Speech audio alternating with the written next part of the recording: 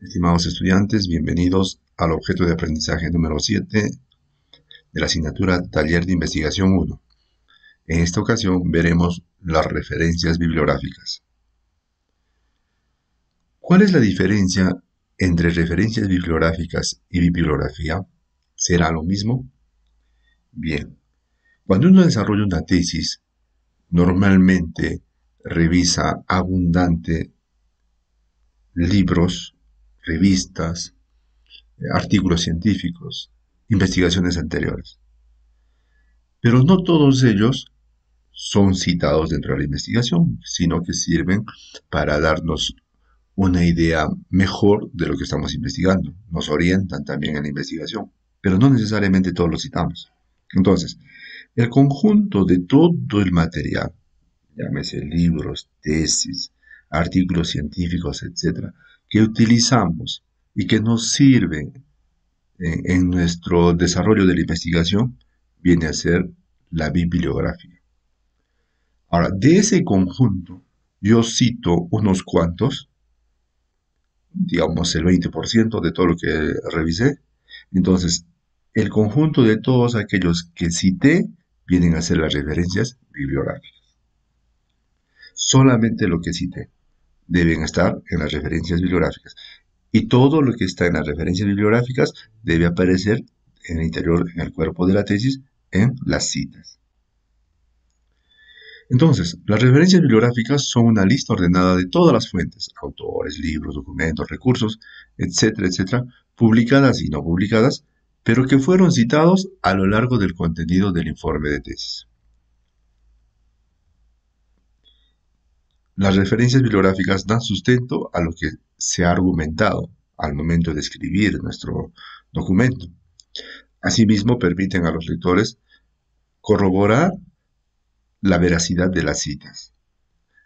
Por ejemplo, tengo una definición, le pongo en el estilo ISO 690, el número, digamos, el 12, entonces el autor que está leyendo puede ir al 12 a la, referencia bibliográfica en el número 12, encuentra la obra original, busca y en esa obra debe estar lo que nosotros hemos citado. Bien, las referencias bibliográficas se pueden elaborar en diferentes estilos de citas y referencias.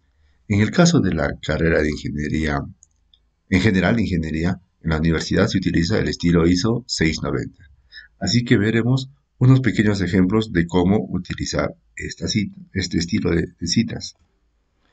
Si voy a eh, citar monografías y libros, entonces debo poner los apellidos, la inicial del nombre, los apellidos en mayúscula, la inicial del nombre, el título del libro o monografía en cursiva, la edición, el lugar de publicación, la editorial, año, y el código ISBN, o el Código Internacional del Libro, de la obra. Ahí tenemos algunos ejemplos.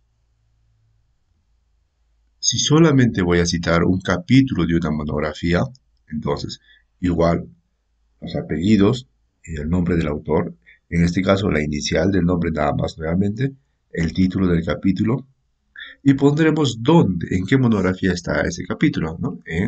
Nombre y apellidos, eh, título en cursiva de la obra que contiene el capítulo que estoy citando, la edición, el lugar de publicación, editor, año, numeración, primera última página del capítulo y el código ISBN de la obra.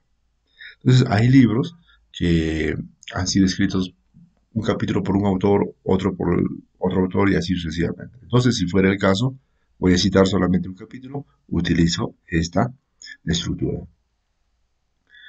Bien, si son tesis, si son tesis doctorales, igual, en, todos los ejemplos que estamos mostrando, los apellidos van en mayúscula, la inicial del nombre, el título de la obra en cursiva, eh, la clase de la tesis, obviamente tiene que ser inédita, la institución académica en la que se presentó la tesis, el lugar y el año.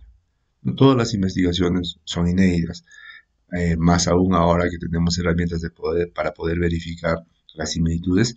Entonces, siempre será tesis Bueno, en este caso doctoral inédita podría ser tesis de grado, tesis de maestría. Un artículo de revista, ¿cómo va? Igual, los apellidos en mayúscula, la inicial del nombre, el título del artículo, que debe estar en cursiva, el título, perdón, el título del artículo y luego el título de la revista en cursiva, el año del fascículo en que está incluido el artículo, el volumen o también el número del fascículo. La primera y última página del artículo y el código ISSN, en este caso es el código internacional para revistas.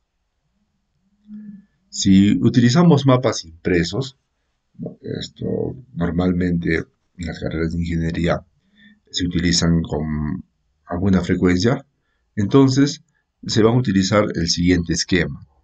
Por ejemplo, en España, el Instituto Geográfico Nacional es el, órgano que hace eh, los mapas, el órgano rector. San Vicente de Raspey, Alicante, el mapa topográfico nacional de España y todos los demás datos, como vemos, podemos ahí darnos cuenta de dónde es ese mapa, a qué escala está, de qué edición, en qué año, etc. Entonces, a manera de ejemplo, podríamos elaborar las referencias bibliográficas de esta investigación, titulada Características de los sistemas de protección eléctrica de los edificios residenciales del distrito de Chilcahuanca de 2020. ¿Qué podría utilizar acá? Mm, bueno, tesis, ¿cierto? Tesis. ¿Qué más habría utilizado? Eh, artículos científicos, libros ¿no? sobre sistemas de protección, básicamente. ¿eh? abundante libros. Y, bueno, cualquier otro tipo de material que nos permita este, desarrollar la investigación. Conclusiones. Una referencia bibliográfica es el conjunto de elementos suficientemente detallados para identificar la fuente de la cual se extrae la información. La bibliografía es la relación o lista de un conjunto de libros o escritos utilizados como material de consulta o soporte documental para la investigación y la elaboración de un trabajo escrito o una monografía. Bien, muchas gracias. Los espero entonces en las sesiones de clase.